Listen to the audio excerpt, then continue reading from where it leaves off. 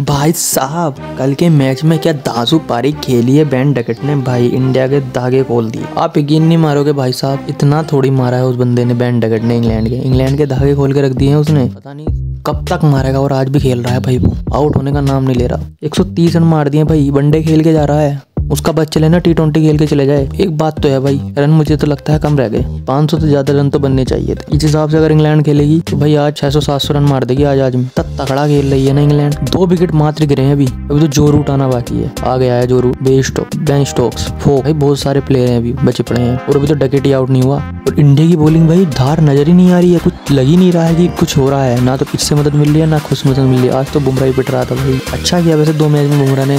होता है, एक मैच तो सबका खराब होता है। और अभी क्या पता? आज कुछ कमाल कर दे। कमाल कर देंगे तो अच्छी बात होगी। नहीं तो भाई, ये मैच मुझे नहीं लगता कोई जीतेगी, ये मैच ड्रा होगा। मुझे तो ऐसा लग रहा है, ना इंडिया जीतेगी ना इंग्लैंड जीतेगी, ये मैच ड्रा होगा। अब देखते हैं क्या होता है। और कल के मैच में भाई एक ऐसे खिलाड़ी ने एक ऐसा अचीवमेंट ले लिया है ना, जो भाई उसे लेना ही था। और वो नहीं लेता ना तो गलत होगा बंदे ने सौ मैच भी नहीं खेले हैं, और एक ऐसा अचीवमेंट कर लिया है भाई, सबसे तेज। सबसे फास्ट है 500 विकेट लेने वाले खिलाड़ी बन चुके हैं रविचंद्रन अश्विन। रविचंद्रन अश्विन ने इंटरनेशनल टेस्ट करियर में अपने 500 विकेट ले लिए हैं और ये सबसे तेज 50 सौ, डेढ़ सौ, दो सौ, ढाई सौ, तीन सौ, साढ़े तीन सौ, चार सौ, साढ़े चार सौ, पाँच सौ सबसे तेज विकेट लेने वाले खिलाड़ी बन चुके हैं। प्लस सारे विकेट उन्होंने सबसे तेज लिए हैं। इनके करीबी दोस्त ऑस्ट्रेलियन स्पिनर नाथन लियोन ने भी इन्हें कॉन्ग्रेचुलेशन बोला है। अपनी स्टोरी डाली थी उन्होंने भी उन्होंने भी इन्हें बधाई दी। और सारे खिलाड़ियों ने इन्हें बधाई दी है, जैसे कि सचिन तेंदुलकर, अनिल कुंबले, सुरेश रैना, वीरेंद्र सहवाग बहुत सारे प्लेयर उन्होंने बधाई दी है। हम भी इन्हें कॉन्ग्रेचुलेशन देते हैं बट भाई वोट ए प्लेयर 500 विकेट यार, अभी तक इंडिया की तरफ़ से मात्र दो ही खिलाड़ी ऐसे हुए हैं। पहला अनिल कुंबले, दूसरा रविचंद्रन अश्विन अभी तक तीसरा कोई प्लेयर नहीं रहा है जिसने 500 से ज़्यादा विकेट या 500 विकेट लिए हों।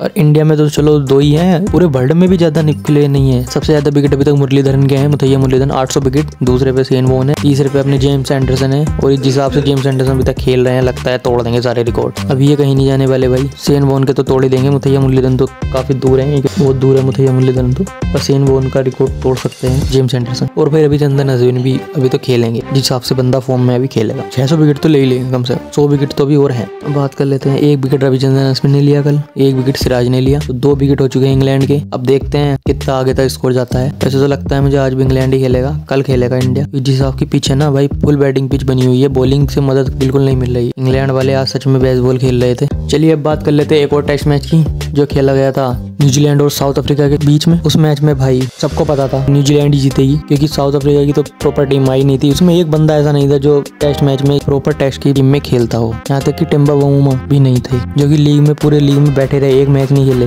वे भी नहीं थे। भाई, कोई नहीं था। छब्बीस साल का लौंडा, नील बने वो कैप्टन था टीम का, आप समझ लो। कितने अनुभवी प्लेयर थे इस टीम में, कोई नहीं था और बढ़िया खेली साउथ अफ्रीका। और भाई, न्यूजीलैंड सीरीज़ जीत गई नंबर वन पर आ चुकी है टेस्ट रैंकिंग में चैंपियनशिप में टेस्ट चैंपियनशिप में नंबर वन पर आ चुकी है, पचहत्तर परसेंट मैच जीत चुकी है। दूसरे नंबर पर ऑस्ट्रेलिया, तीसरे नंबर पर इंडिया। अगर इंडिया ये बात मैच जीतती है तो दूसरे नंबर पर आ जाएगी। नहीं तो फिर नीचे भी जा सकती है। बात करते हैं Kane Williamson. What a player man अपने पीक पे चल रहे हैं भाई केन विलियमसन इस टाइम पिछली दस पारियों में छह शतक है और पिछले सात मैचों में सात मतलब हर मैच में शतक लगा रहे हैं केन विलियमसन। एक मैच, एक शतक, एक मैच, एक शतक। पिछली चार पारियों में तीन शतक लगा दिए हैं। बत्तीस शतक हो चुके हैं। बिल्कुल भाई पीक पे। ऐसे ही थोड़ी भाई नंबर वन टेस्ट बैट्समैन बने हुए हैं। हर मैच में भाई शतक, भाई बंदा पता नहीं क्या खेल गया था, किस माइंड सेट से खेल के आ रहा है कि हर मैच में शतक पे शतक शतक पे शतक लगा रहा है। इसी टाइम पे अपने विराट कोहली के शतक सबसे ज़्यादा थे और केन विलियमसन सबसे कम थे। इस टाइम केन विलियमसन के शतक बत्तीस हो चुके हैं और अभी तो भाई और खेलेंगे अभी तो बहुत मारेगा। केन विलियमसन टेस्ट का भाई, सच में भाई बीस्ट प्राइम पे खेल रहे हैं भाई केन विलियमसन हमने अब थोड़ी सी बात अपने पड़ोसी देश पाकिस्तान की भी कर लेते हैं भाई। आखिरकार हमारा ही टुकड़ा है, सही समझे? तो चलिए उनकी बात कर लेते हैं। तो भाई साहब, उनके एक खिलाड़ी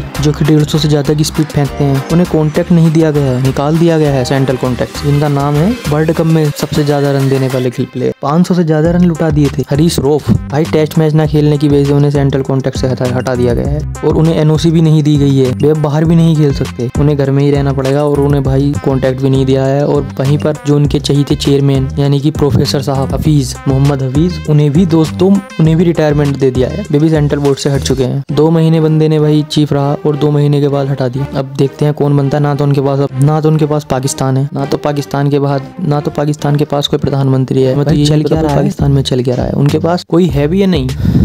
और भाई साहब, कल एक हिलेरियस मोमेंट भी हुआ फ़ील्ड पर रोहित जब रविंद्र जडेजा बॉल डाल रहे थे तो फिर भाई उन्होंने लगा दो दो या तीन नो बॉल डाल दी। तो रोहित शर्मा भाई माइक में स्टम माइक में रिकॉर्ड हो गया। रोहित शर्मा भाई कहते हैं कि यार, ये जड्डू यार आईपीएल में तो इतनी नो बॉल नहीं डालता है। इसे यहाँ क्या हो गया? नो बॉल पे नो बॉल डाल रहा है। भाई तो फिर जड्डू से कहते हैं, जड्डू इसे टी ट्वेंटी समझ और तब बोल डाल। भाई फ़ील्ड पे ऐसी ऐसी बात कहते हैं ना मतलब हँसी सी आ जाती है कॉमेडी हो जाती है। मतलब अलग ही बातें चलती है भाई उनकी। अगर वे कमेंट्री करेंगे तो भाई कितना मज़ा आएगा उनकी बातें सुनने में। चलिए गाइस आज के लिए इतना ही। आपसे मिलते हैं कल। अकेले चैनल को सब्सक्राइब वीडियो को शेयर और लाइक कर दीजिए। धन्यवाद।